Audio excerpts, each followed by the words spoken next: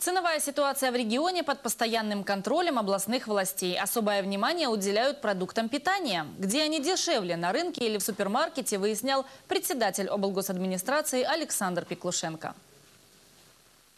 Это крытый рынок. С 1 мая здесь работает оптовая торговая овощная площадка, так что можно сэкономить на количестве. На входе председателя облгосадминистрации встречает директор рынка. Александр Пеклушенко интересуется ценами на так называемый борщевой набор. Директор говорит, мясо немного подешевело. Продавец помидоров подтверждает, цены ниже, чем в прошлом году, но все равно берут мало. Ну, на сегодняшний день помидоры я могу дать вот 15 гривен. Так, А, а в поза- а в том году был 25.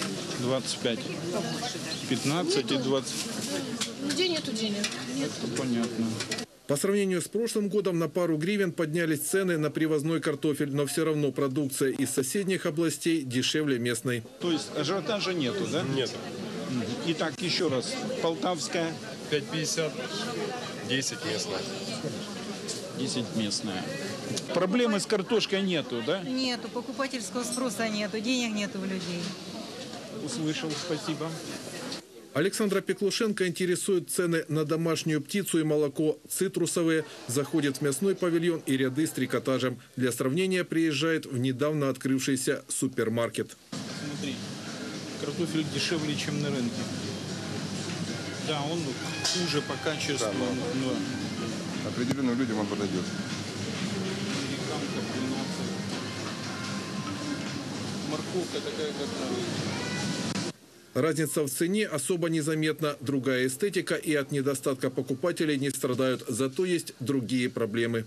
Создается проблема как бы очереди постоянная на кассах. То есть сейчас будем смотреть, выходить с наверное, еще больше предложением. людей, Вечером очень много, да, людей, в принципе. Центр получился современный, актуальный, э, сделан для людей, он очень удобный, несмотря на его многоэтажность, на его высоту, а, он совершенно удобен для посещения, для нахождения в нем, для перемещения по этажам. Здесь пять торговых этажей, но вы на пятый этаж поднимаетесь в течение нескольких секунд, у нас скоростные лифты панорамные, как вы видели. То есть в этом плане никаких проблем нет.